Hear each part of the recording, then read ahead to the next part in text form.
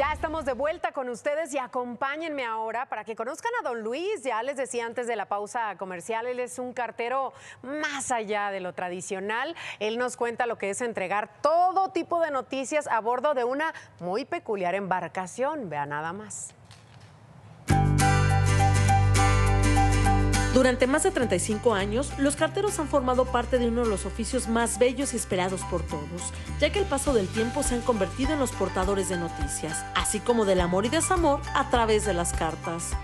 Ya sea a pie o en moto, han llegado a los hogares mexicanos con la tan esperada correspondencia. Aunque el señor Luis es un caso aparte, ya que durante 33 años de servicio se ha encargado de entregar todos y cada uno de los sobres en Xochimilco a través de una canoa.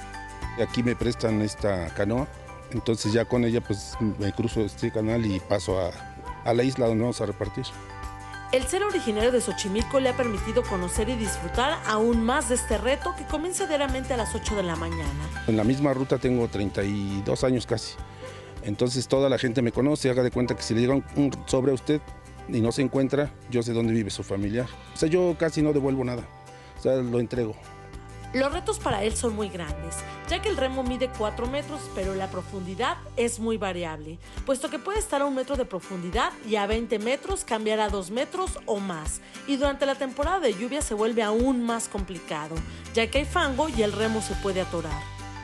Pues la verdad es la temporada más difícil para nosotros, porque en los domicilios a veces no tienen buzón y hay que atorarlo. Bueno, yo lo acostumbro a atorar lo más alto que se pueda para que no se moje porque este, pues nosotros nos podemos tapar ¿no? con una impermeable, X cosa, pero la correspondencia no.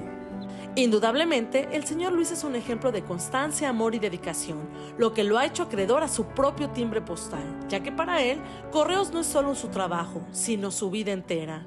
Que no se pierda la tradición, que, pues, que sigan depositando y mandando correspondencia para que pues, siga adelante el correo. Xochimilco para mí es un paraíso. Y gracias a Dios yo nací aquí y el correo, lo más hermoso que, que pueda haber. Para imagen, Alejandrina Franco. Los carteros todoterreno, por supuesto.